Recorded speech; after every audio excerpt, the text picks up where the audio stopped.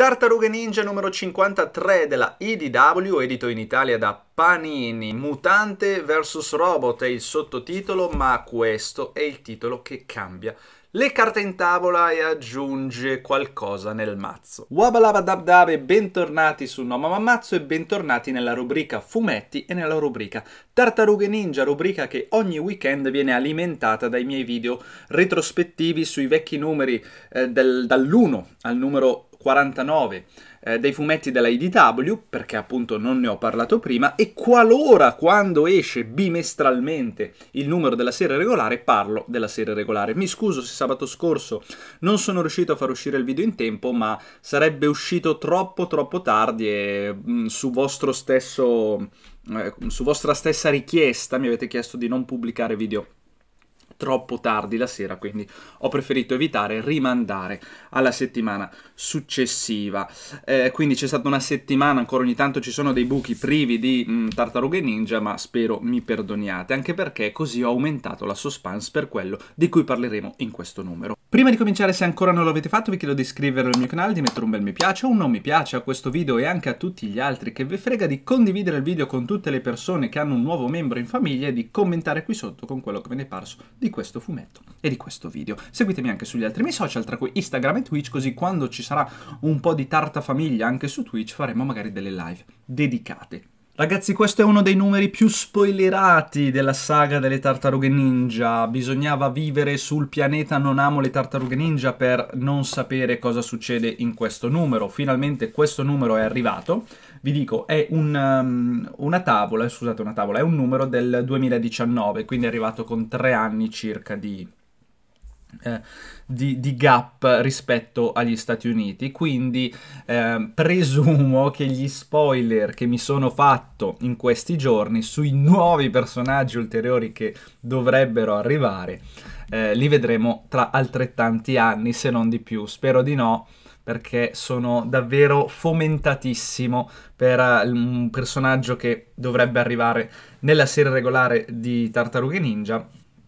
ma questo personaggio invece che mm, diciamo che non è che viene introdotto oggi, ma eh, viene cambiato oggi, ha aperto poi la strada a quello che sarà il futuro. Ovviamente ci eravamo lasciati nel numero scorso eh, dove eh, Karai era tornata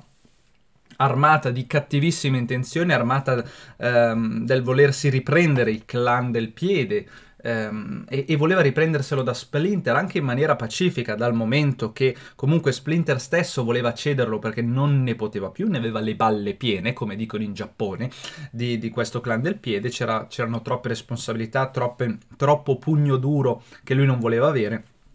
e lo avrebbe ceduto volentieri a Karai, se non fosse che c'è stata una divergenza di opinioni abbastanza mm, pesanti sul futuro dei bambini che avevano salvato qualche numero addietro da non so da cosa, comunque è, è come se fosse stato una, un piccolo orfanotrofio anche il clan del piede, Karai voleva costringere i bambini a diventare dei ninja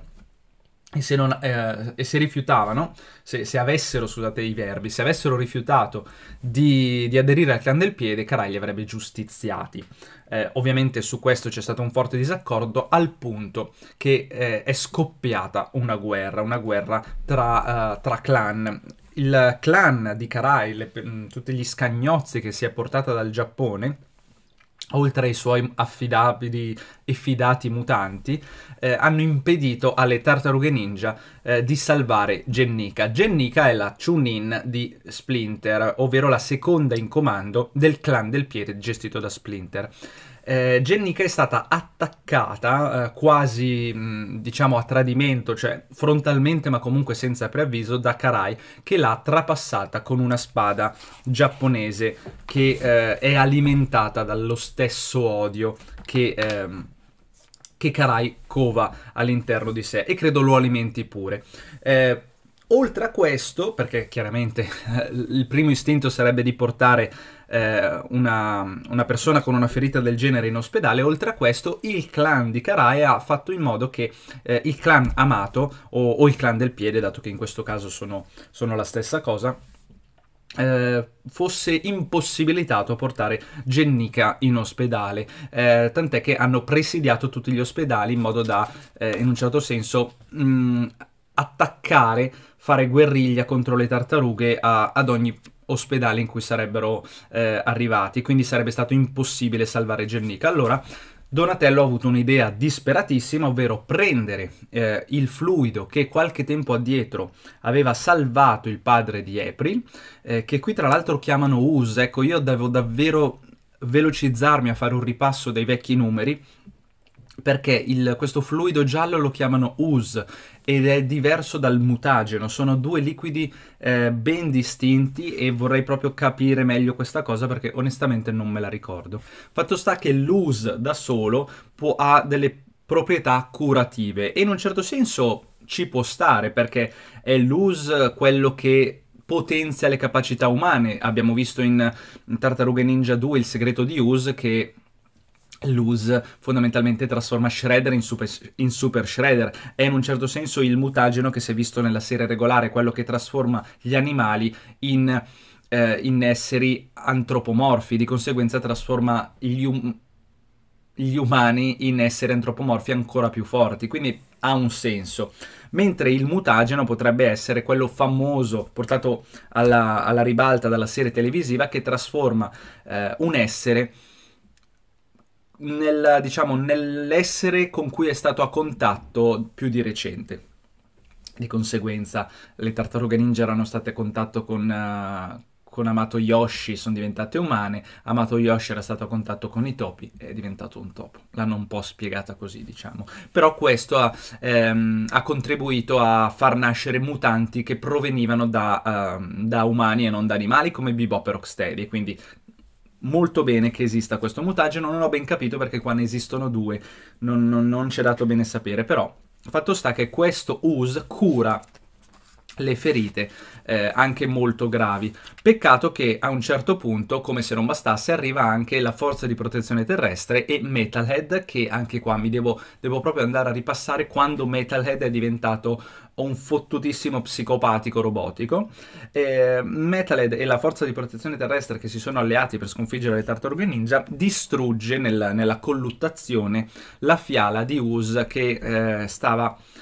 flu- fluendo nelle vene di Gennica per curarla. Ovviamente non era abbastanza per curarla, quindi alla disperata Donatello propone a Leonardo di fare una trasfusione a Gennica perché Gennica stava proprio morendo, quindi l'alternativa a farla morire è stata la trasfusione di Leonardo che però ha portato a inevitabili conseguenze. Gennica è diventata a tutti gli effetti una mutante, una mutante di eh, origine umana, ma che è diventata ovviamente una tartaruga dal momento che è Leonardo ad averle eh, passato il suo sangue. E questo ci porterà alla famosa quinta tartaruga eh, che tutti hanno, cioè tutti, che ha spaccato in due il pubblico statunitense.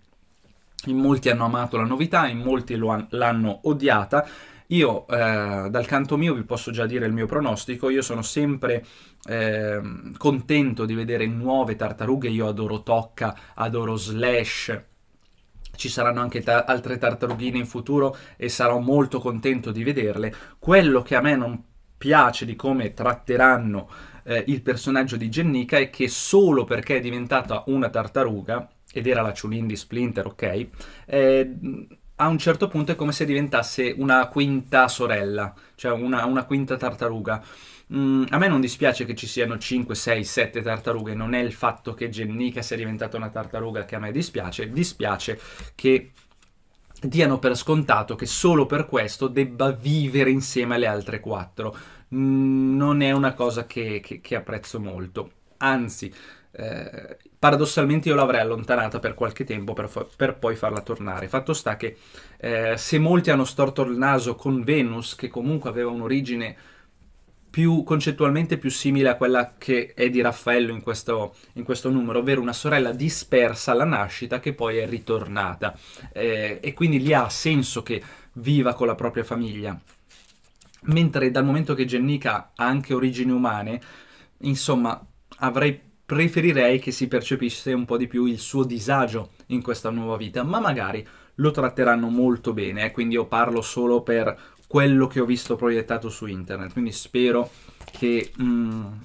che la cosa non mi andrà, non mi andrà storta. Eh, purtroppo, questi, o meglio, purtroppo, questi furbini della, della, Panini hanno ben pensato di lasciarci in sospeso con un cliffhanger e poi aggiungere altre due storie, come fanno in America, no? Quindi noi non sapremo nulla di Gennica fino a, al mese prossimo, sempre che esca puntuale. Le altre due storie di questo numero parlano appunto di Orokusaki, quindi di Shredder, che si trova niente poco di meno che all'inferno, e devo dire che tra i 3 è la, è la storia con le tavole disegnate in modo più spettacolare. Io adoro tutti e tre gli stili di disegno, ma a mani basse, oggettivamente,